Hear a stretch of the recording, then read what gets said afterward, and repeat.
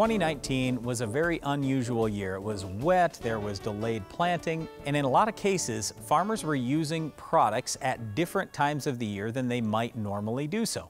So today we wanted to talk just a little bit about herbicide carryover and some of the risk we see going into 2020 and what you can do to minimize that risk. Oh man, Brian, you're bringing me down here. I thought 2019 was in the past, but you're saying last year's chemistry could hurt this year's crop all right, I get it. We did have some of those situations pop up. Here's one that I think was a bad one in soybeans. We had a lot of late planted soybeans, which meant the beans were pretty small all the way into July and August, and we were still having pigweed escapes.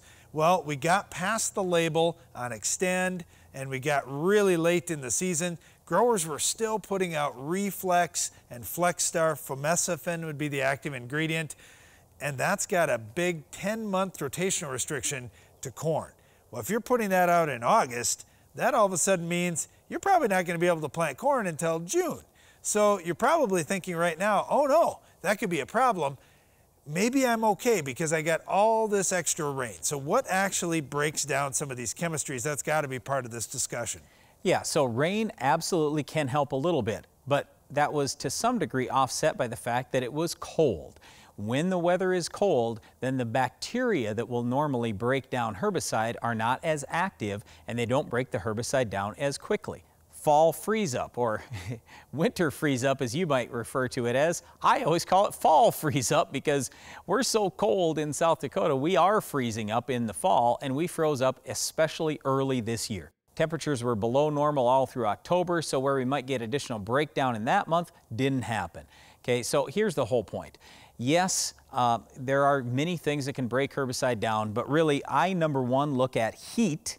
Number two, I'm going to look at moisture. We were above normal on moisture, but we were below normal on heat. I think that almost offsets.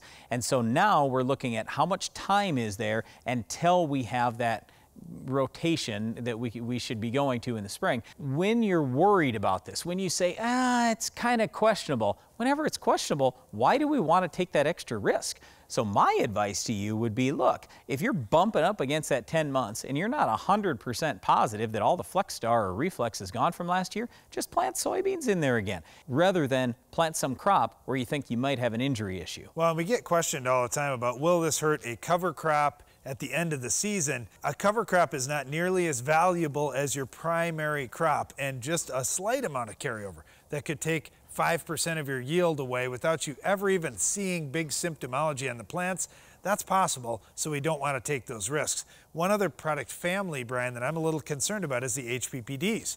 We had corn getting planted in the upper Midwest into early June, and all of a sudden, guys are like, well, what am I going to do here? I'm going to put a pre-emerge out that's a complete pre, because that's the only time I'm going to be across the field for weed control. And what did they use? Heavy rates of HPPDs in early to mid-June. That scares me a little bit. We don't have near as much time to get those to break down. Another corn product that we always are worried about is atrazine. Atrazine does leach down through the soil, so more moisture is better or worse, I don't know how you want to look at that. We hate atrazine in groundwater, but yes, atrazine probably leached out of the profile with all the rainfall we had. The other thing with atrazine, you really want to watch out if you have high pH soils, it carries over more commonly in high pH ground. A couple other products, Authority and Spartan. You may have used those in, we were talking earlier in the show about sunflowers, Spartan there, or Authority in soybeans. Those products have one of the longest half-lives of any herbicide that there is out there, 280 days.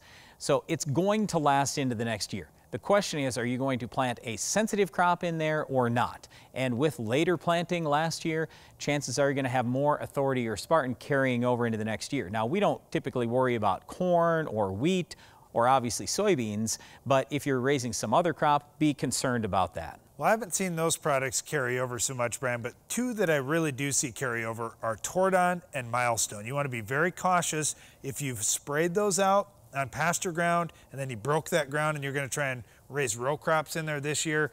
I'd be very concerned. You should be raising a grass crop out there or you're going to have some problems.